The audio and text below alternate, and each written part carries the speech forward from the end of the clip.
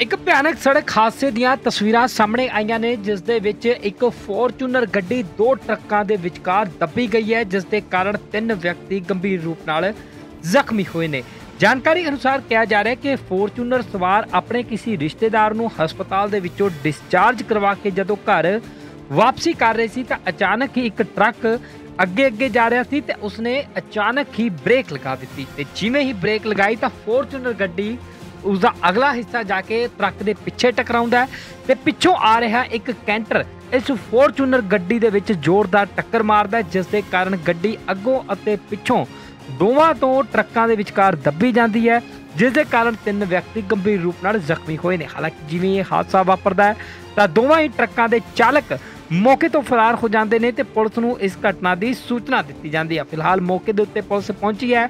ਤਿੰਨਾਂ ਹੀ ਵਾਹਨਾਂ ਨੂੰ ਕਬਜ਼ੇ ਦੇ ਵਿੱਚ ਲੈ ਕੇ ਜਾਂਚ ਸ਼ੁਰੂ ਕਰ ਦਿੱਤੀ ਹੈ। ਤਾਂ ਕਰਨਾਲ ਦੇ ਵਿੱਚ ਇਹ ਭਿਆਨਕ ਸੜਕ ਹਾਦਸਾ ਵਾਪਰਿਆ ਜਿੱਥੇ ਕਿ ਇੱਕ ਫੋਰਚੂਨਰ ਗੱਡੀ ਨੂੰ ਦੋ ਟਰੱਕਾਂ ਨੇ ਵਿਚਕਾਰ ਹੀ ਦੱਬ ਦਿੱਤਾ ਹੈ, ਜਿਸ ਦੇ ਕਾਰਨ ਗੱਡੀ ਦੇ ਪਰਖੱਚੇ ਤੱਕ ਉੱਡ ਗਏ ਨੇ। ਦੱਸਦੀ ਦਈਏ ਕਿ ਗੱਡੀ ਅੱਗੋਂ ਅਤੇ ਪਿੱਛੋਂ ਦੋਵੇਂ ਪਾਸਿਓਂ ਨੁਕਸਾਨੀ ਗਈ ਹੈ ਤੇ ਖੌਫਨਾਕ ਤਸਵੀਰਾਂ ਕਰਨਾਲ ਤੋਂ ਸਾਹਮਣੇ ਆਈਆਂ ਨੇ ਜਿੱਥੇ ਕਿ ਇਹ ਫੋਰਚੂਨਰ ਸਵਾਰ ਆਪਣੇ ਇੱਕ ਰਿਸ਼ਤੇਦਾਰ ਨੂੰ ਹਸਪਤਾਲ ਦੇ ਵਿੱਚੋਂ ਛੁੱਟੀ ਦਵਾ ਕੇ ਵਾਪਸ ਲੈ ਕੇ ਆ ਰਹੇ ਸੀ ਤੇ ਰਸਤੇ ਦੇ ਵਿੱਚ ਹੀ ਇਹ ਭਿਆਨਕ ਸੜਕ ਹਾਦਸਾ ਵਾਪਰ ਗਿਆ अमृतधारा से आए थे जी ब्रदर इन लॉ को थोड़ा ठीक नहीं था उ- उनको डिस्चार्ज करवा के घर जा रहे थे जी अभी बहु समाना तो कट पे यहाँ पे कोई गाड़ी टर्न कर रही थी, बड़ा ट्रक था। इतने में ही पीछे से हमें तो पता भी नहीं लगा। दोनों ने, वो देखो ना, कैसे ऊपर कर दिया। मैंने बार अब कॉल आई, तुरंत चार मिनट के अंदर आ गए। भाई गाल था जो बोले, गाल दिया हॉस्पिटल है दो नू ड्राइवर भाग गए हैं। उनके सामान सुम गए। जितनी मैं हेल्प चाहिए हेल्प करेंगे इनकी। हम तो बताया जा रहा पेशेंट ही थे जो उनको लेकर हाँ जा वो रहे भी पेशेंट ही थे थे। उनको हाँ, छुट्टी करवा कर हाँ हाँ तो दोबारा हॉस्पिटल गए हैं हाँ दोबारा तो अब हटाएंगे क्रेन बुलाई हाँ क्रेन बुला रखी है अभी आ जाती क्रेन ਇੱਕ ਭਿਆਨਕ ਸੜਕ ਹਾਦਸੇ ਦੀਆਂ ਤਸਵੀਰਾਂ ਸਾਹਮਣੇ ਆਈਆਂ ਨੇ ਜਿਸ ਦੇ ਵਿੱਚ ਇੱਕ ਫੋਰਚੂਨਰ ਗੱਡੀ ਦੋ ਟਰੱਕਾਂ ਦੇ ਵਿਚਕਾਰ ਦੱਬੀ ਗਈ ਹੈ ਜਿਸ ਦੇ ਕਾਰਨ ਤਿੰਨ ਵਿਅਕਤੀ ਗੰਭੀਰ ਰੂਪ ਨਾਲ ਜ਼ਖਮੀ ਹੋਏ ਨੇ ਜਾਣਕਾਰੀ ਅਨੁਸਾਰ ਕਿਹਾ ਜਾ ਰਿਹਾ ਹੈ ਕਿ ਫੋਰਚੂਨਰ ਸਵਾਰ ਆਪਣੇ ਕਿਸੇ ਰਿਸ਼ਤੇਦਾਰ ਨੂੰ ਹਸਪਤਾਲ ਦੇ ਵਿੱਚੋਂ ਡਿਸਚਾਰਜ ਕਰਵਾ ਕੇ ਜਦੋਂ ਘਰ ਵਾਪਸੀ ਕਰ ਰਹੇ ਸੀ ਤਾਂ ਅਚਾਨਕ ਹੀ ਇੱਕ ਟਰੱਕ ਅੱਗੇ ਅੱਗੇ ਜਾ ਰਿਹਾ ਸੀ ਤੇ ਉਸਨੇ ਅਚਾਨਕ ਹੀ ਬ੍ਰੇਕ ਲਗਾ ਦਿੱਤੀ ਤੇ ਜਿਵੇਂ ਹੀ ਬ੍ਰੇਕ ਲਗਾਈ ਤਾਂ ਫੋਰਚੂਨਰ ਗੱਡੀ ਉਸ ਦਾ ਅਗਲਾ ਹਿੱਸਾ ਜਾ ਕੇ ਟਰੱਕ ਦੇ ਪਿੱਛੇ ਟਕਰਾਉਂਦਾ ਹੈ ਤੇ ਪਿੱਛੋਂ ਆ ਰਿਹਾ ਇੱਕ ਕੈਂਟਰ।